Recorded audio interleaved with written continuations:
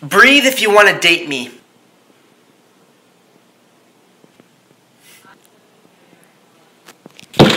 Oh, come on, I'm not that bad.